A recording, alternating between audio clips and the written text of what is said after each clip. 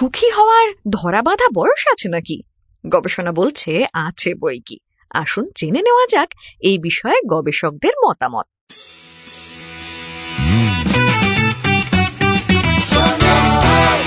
আপনি শুনছেন সংবাদ প্রতিদিন শোনো। ধরুন আপনার হাতে এসে গেছে এমন কোনো আশ্চর্য ওষুধ যা খেলে আপনি ইচ্ছে মতো বয়স কমিয়ে কিংবা বাড়িয়ে ফেলতে পারবেন। বলুন দেখি, সত্যি এমনটা হলে কোন বয়সে থাকতে চাইবেন আপনি? আসলে মানুষ তো সেই সময় থেকে যেতে চায় যখন খুব বেশি দুঃখ দুর্দশার উৎপাত তাকে সহ্য করতে হয় না। অর্থাৎ যখন সে খুব সুখী। সম্প্রতি একটি গবেষণা হয়েছিল এই বিষয়েই।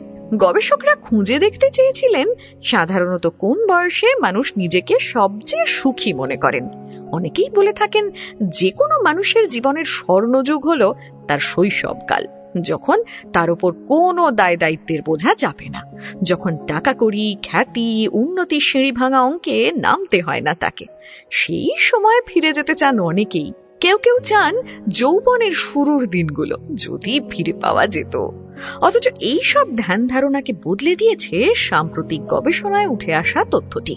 দেখা যাচ্ছে অধিকাংশ মানুষ যে সময়টিকে তার জীবনের সবচেয়ে কাঙ্ক্ষিত অবস্থা বলে মনে করছেন, তা মোটেই ছোটবেলা নয় টিনেজও নয়, বরং যৌবনের প্রায় শেষ প্রান্তের একটা সময় কম বেশি ছত্রিশ বছর বয়স।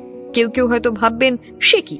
এ সময় না হয় পড়াশোনা শেষ চাকরি বাকরিও শুরু হয়ে গেছে, কিন্তু তাতে তো দায়িত্ব বেড়েছে বই কমেনি। কেরিয়ারে পদোন্নতি নিয়ে চিন্তা তো নিত্যসঙ্গী। তার উপর দাম্পত্য, কারও কারও ক্ষেত্রে সন্তান, বয়স্ক বাবা মার যত্ন, সব মিলিয়ে তো নাজেহাল হওয়ার কথা।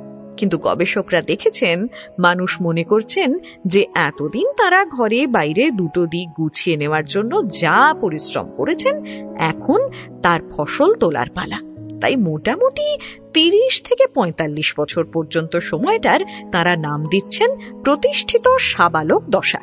এই সময়ে চ্যালেঞ্জ আছে, কিন্তু সেই চ্যালেঞ্জে রয়েছে আনন্দ। বিগত দিনের পরিশ্রমের ফলে এই বয়সে পৌঁছে আত্মবিশ্বাস বাড়ে। নিজেকে বোঝা যায় অনেকখানি। জীবন সম্পর্কে অভিজ্ঞতার ঝুলিটাও বেশখানিক ভরে ওঠে, যা দিয়ে আগামী পথ চলার রসদ জুটে যায়। পাশাপাশি দায়িত্ব পালন করতে পারার মধ্যে একটা অদ্ভুত আনন্দ আছে, জানেন তো?